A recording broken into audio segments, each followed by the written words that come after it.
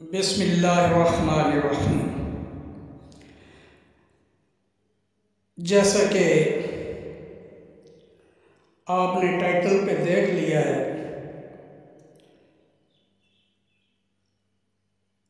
آج کی ویڈیو کا عنوان دھوپ کے چشمے یعنی دھوپ کے یعنکے ہیں۔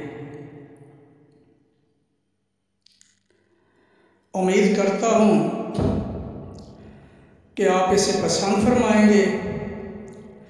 ساتھ ہی آپ کو پنجاب رنگ نظارے یوٹیوب چینل پہ خوش آمدید کہتا ہوں۔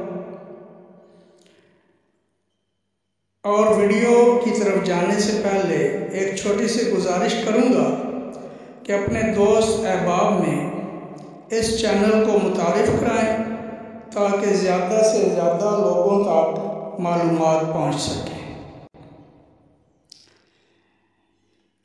موجودہ دور میں دھوپ کے چشمے حفاظتی چشمے کے طور پر کام کرتے ہیں۔ یعنی یہ دھوپ کی آنکھیں جو ہیں، آنکھوں کو دھوپ کے اثرات سے بچاتی ہیں۔ یعنی یہ مؤثر طریقے سے سورج کی روشنی کو، ہماری آنکھوں کو تکلیف یا نقصان پہنچانے سے روکتے ہیں۔ یقیناً یہ فیشن کے لیے بھی استعمال ہوتے ہیں۔ لیکن دھوپ کے چشمے اصل میں بارہویں صدی میں چین میں ایک بڑے مقصد کے لیے بنائے گئے تھے۔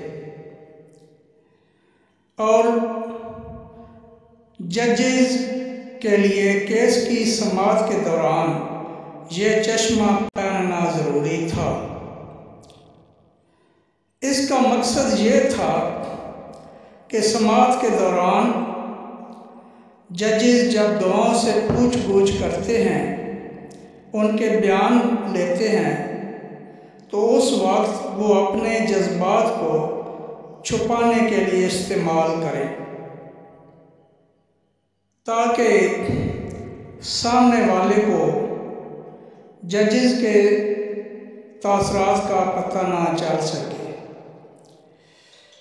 اور اس کے موجد بھی چائنا والے ہیں۔ کیونکہ چائنا نے ہی اسے پہلے ایجاد کیا تھا اور ججز کے پہننے کے لیے لازمی قرار دیا تھا۔ پھر بعد میں یہ چشمے بطور فیشن اور دھوپ سے بچاؤ کے لیے استعمال ہونے لگے۔